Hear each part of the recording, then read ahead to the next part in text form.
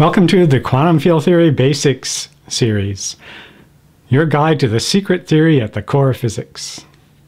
We're going to start with a discussion of the other theories in physics that you may have already studied. We're going to show how all those theories failed, and it left quantum field theory as the last theory standing.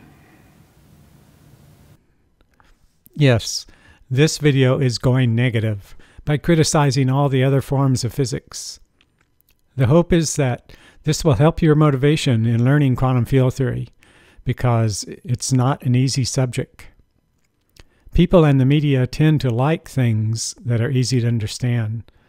That's why the media doesn't say much about quantum field theory. And that's why I call it the secret theory at the core of physics. It's the theory whose predictions are being verified by experiment. But the media prefers to cover things like string theory or the multiverse that have made no verified predictions. The fact is, other forms of physics have led to predictions that are contradicted by experiment. That's the polite way of saying they are wrong. Besides being wrong, other forms of physics can be unsatisfying.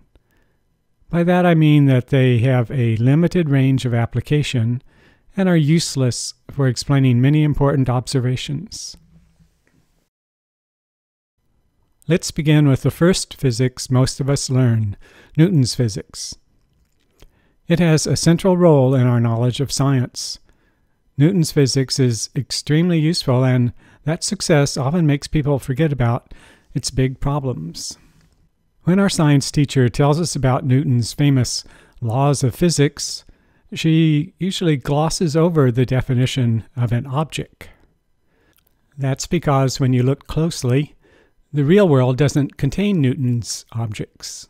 Newton's world is mathematical, like this animation of a billiard ball being struck by a cue stick. The imaginary ball keeps its perfectly round shape as it moves off without friction.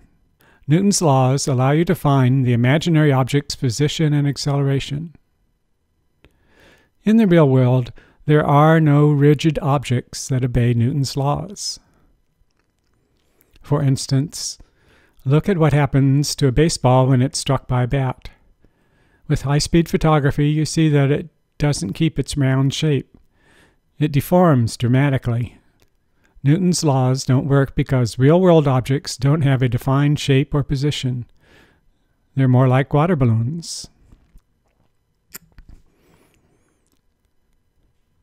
But wait, you say, perhaps rigid objects could exist if they were just very, very small. That idea was investigated in the early 1900s when the electron was discovered. We were still thinking of electrons as little rigid balls. Unfortunately, physicists ran into big problems from the electric field around the electron. As you imagine the electron smaller and smaller, the field gets very, very strong. Since the field contains energy, the energy around the electron becomes greater and greater.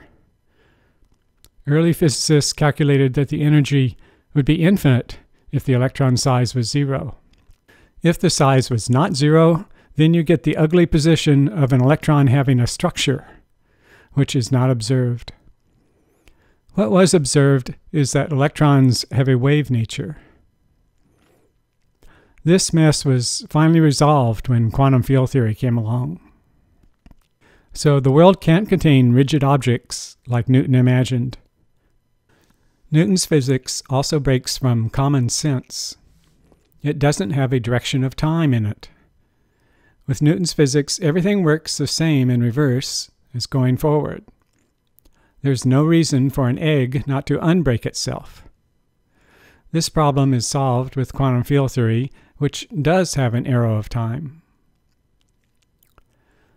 Newton's theory also has problems with light, which was well described by Faraday and Maxwell in the 1800s. Their description used fields instead of objects. You could say that Newton's theory is unsatisfying when it comes to light. Quantum field theory provides a single way of describing matter and light. I'm not going to beat Newton's physics anymore. It's extremely useful and everyone should learn it. Let's go on to another useful theory Maxwell's theory of electromagnetism. Maxwell's wildly successful theory is basic to the electronics industry, and almost every engineer learns it in college. It doesn't suffer from Newton's problems with objects because it's a field theory. Also, it doesn't contradict special relativity. In fact, it predicts special relativity. Its problems occur with the quantum nature of the world. This was first demonstrated with blackbody radiation. That's the radiation inside a container in thermal equilibrium, like an oven used for cooking. Maxwell's theory predicts that an oven will never heat up. Yes, it predicts that you can't bake bread. The resolution of that paradox required quantum ideas, which is what Max Planck first used in 1900. His explanation of blackbody radiation started the quantum physics revolution. Another problem is that Maxwell's theory treats the charge density as a classical field instead of a quantum field. That has problems whenever the charges start demonstrating quantum effects. The big example is atoms. Maxwell's theory predicts that atoms will not exist. The electrons will just spiral into the nucleus.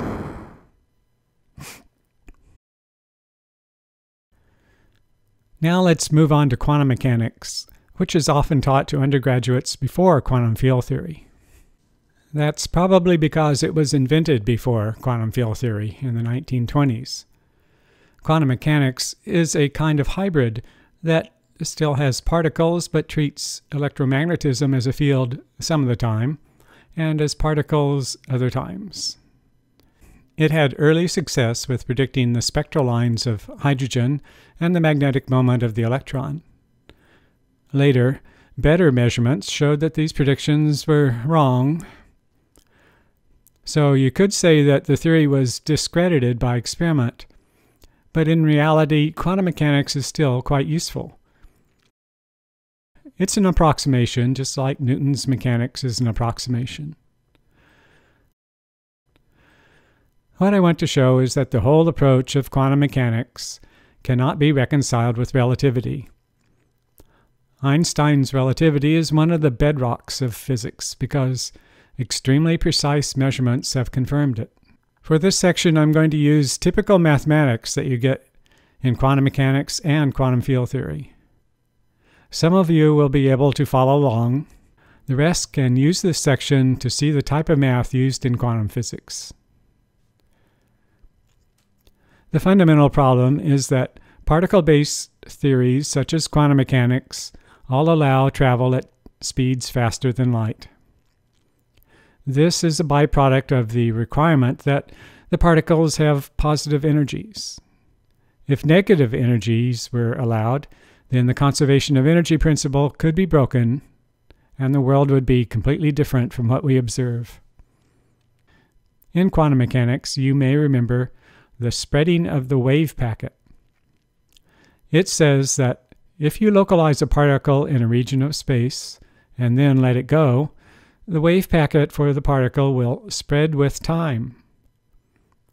The mathematics for this phenomenon is given by this expression. This is standard quantum mechanics notation. It shows how to calculate the overlap between two vectors in a Hilbert space. It gives the amplitude to find the particle at location x, given that it started at the origin. The h in the expression is the Hamiltonian, which is the energy of the particle in quantum mechanics. It's the thing that must be positive. You may remember from your beginning physics class that h was p squared over 2m in Newton's physics. We don't actually care what particular form h has, just that it's positive. The problem with quantum mechanics is that the expression will always allow faster than light travel.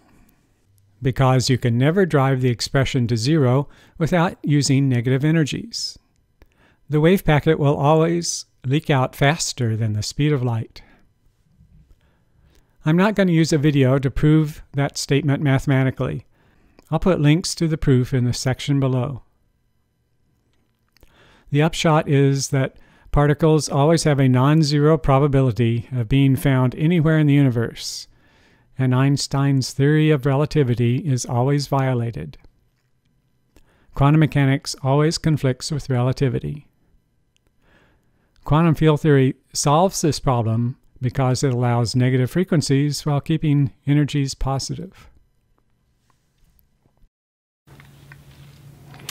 So the answer to our question, why does quantum field theory exist, is that it's the only theory left that isn't contradicted by experiment.